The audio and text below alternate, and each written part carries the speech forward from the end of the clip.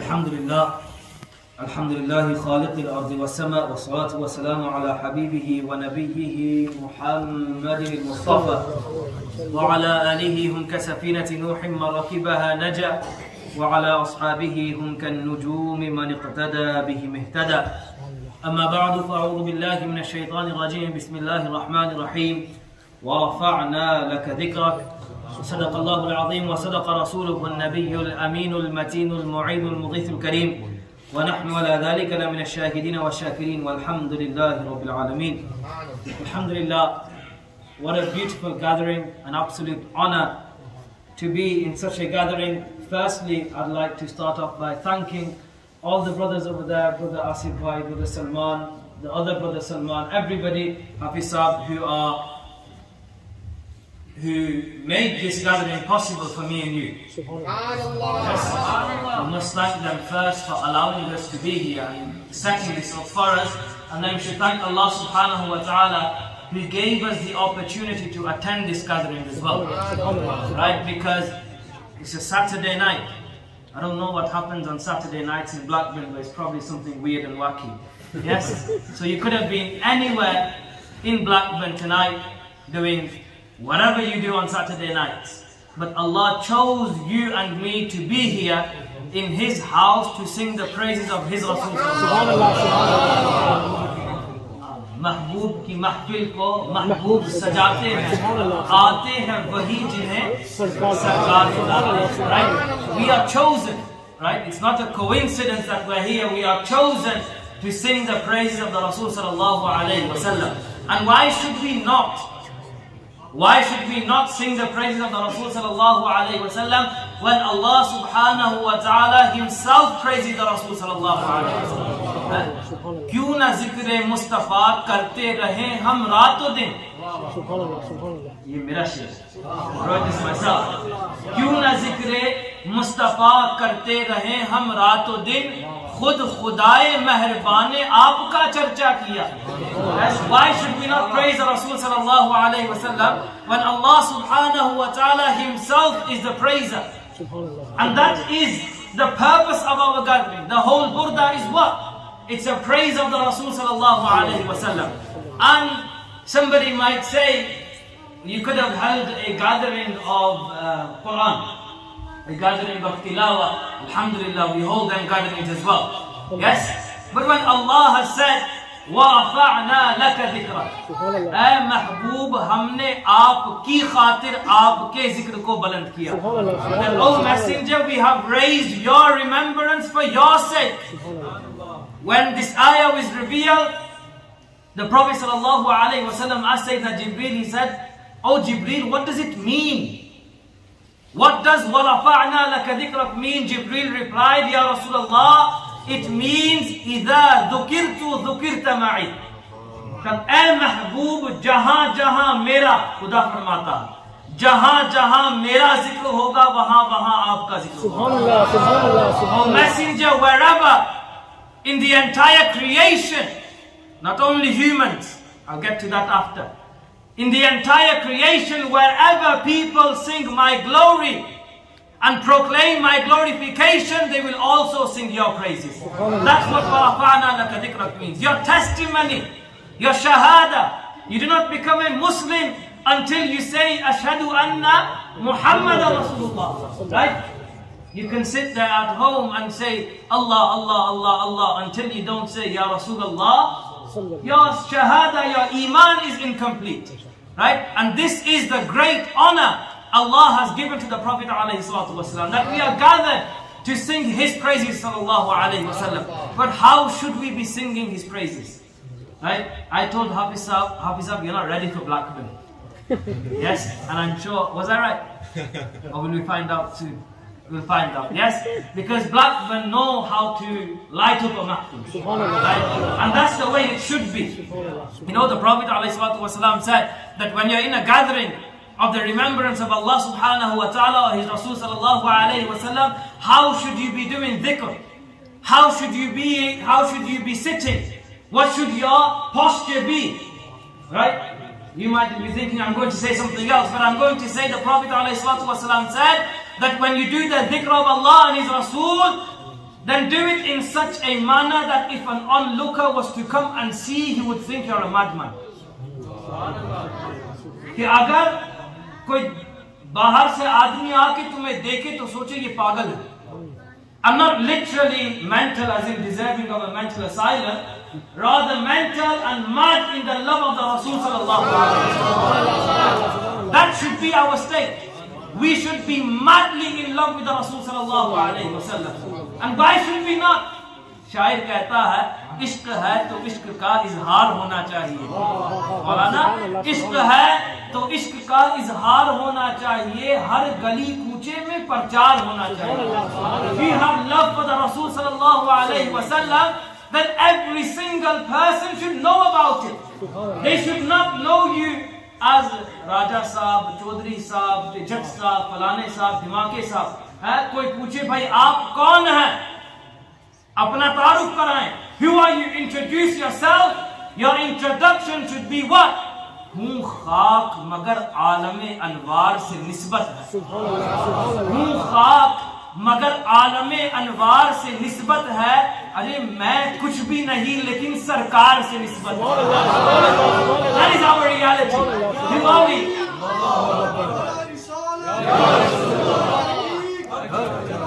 That is our reality. Hum khab, as Maulana Abbas was mentioning early on, what is our reality? We're a handful of soil, that's all we are. Our honor, our eminence, our greatness comes through the Rasul sallallahu alayhi wa Yes? We are what? We are the greatest of community. As we read that share and we translated in English as well. We are the greatest of communities, but why are we the greatest?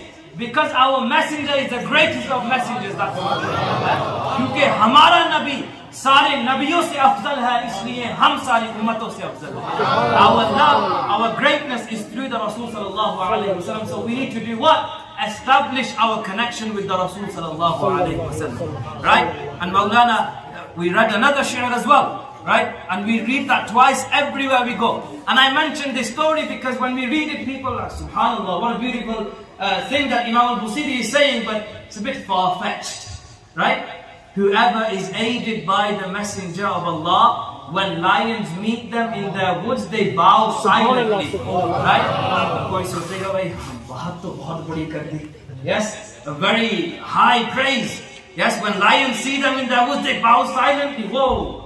Right? Is that even true? Does that happen? Imam al-Busiri is not narrating a fairy tale or something. Right? He's not making things up.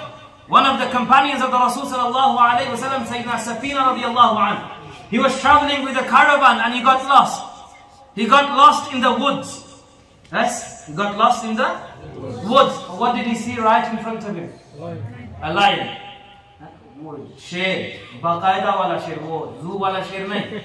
Not the one in the zoo which is locked up and you can't do anything to it, it can't do anything to you. There you stand there with your chest out like, come on, you're the lion king. I'm do. Not one of them lions. No. A wild lion in the jungle. What is Sayyidina Safina says? did he run away no he stood right in front of the lion and he said, Oh lion, you are the king of the jungle, I know, but do you know who I am? ऐ शेर तू तो जंगल का बादशाह है जंगल का राजा है मगर तू जानता है मैं कौन हूँ Do you know who I am? And look at the way Sayyidina Safina introduces himself. Yes? He introduces himself by saying what? Oh lion, I am the slave of the Rasulullah sallallahu alayhi. Move out, I am the slave of the Rasul sallallahu alayhi. That is his introduction. And what did the lion do then? He bowed silently and left. Imam Busir rahimahullah captures that narration within his verse. And this is a reality.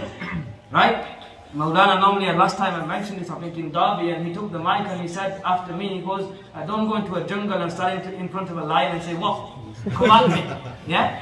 You can't do that. Why? Because we are not like the Sahaba. What we need to do is we need to improve our connection with the Rasul And once we are actually aided by the Messenger of Allah sallallahu alaihi wasallam, then nothing can stop us. Right? Nothing can stop us. That is our greatness, is in loving the Rasul sallallahu alaihi wasallam. So make dua that Allah grants each and every single one of us the love of the Rasul sallallahu alaihi wasallam. And that is why we're gathered to increase our love. The ulama say, the scholars say, I used to normally say, the scholars say, but Hafiz Sahib says, the ulama says, and I'm just I saying that because of him as well. Right? The ulama say what? They say that when you sing the praises of the Rasul sallallahu alayhi wasallam, what happens? When you recite salawat upon him, yes, your ranks are raised. Yes, your ranks. People might be like, why are we singing the praises of the Rasul? Why does he need the benefit? And the benefit is not for the Rasul sallallahu alayhi wasallam. Yes,